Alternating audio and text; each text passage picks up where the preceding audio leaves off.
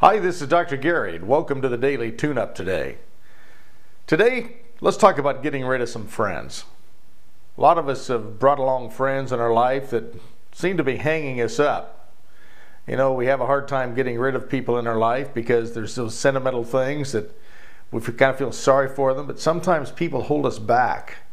And they hold us back by resenting a lot of the successes that we have those are really not friends. Those are people who require their own help, their own adjustments in life in order to feel better about themselves. Anyone who is not happy for you, for nice things that happen to you, is not a friend. What they are is a tagger alonger. Many of us have those. I've had them in my life. I'm sure you have some in yours.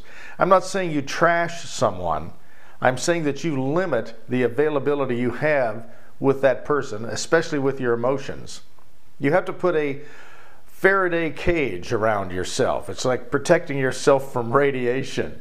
You've got to put a force field around yourself that protects you from their negativity. If these people constantly make you feel bad, two things are happening.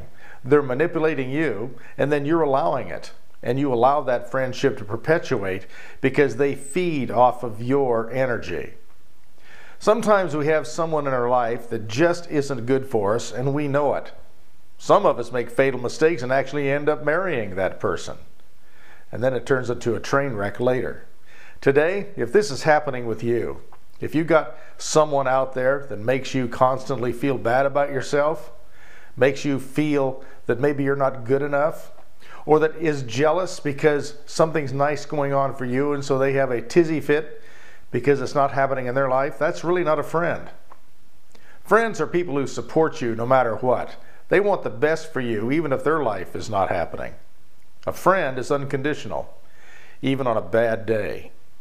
So today, let's take a look at the people that are with us or not with us, that are acting like they are, however, they're really not. And let's work at filtering ourselves away from those people. I can guarantee you, if you'll pay attention to this, it's going to kick you forward in life a lot better. You're going to do a lot better financially, emotionally, spiritually, and your life's going to be happier.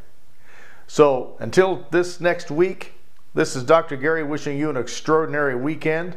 Thank you for watching, and you take care of yourself, especially your emotions. Bye bye.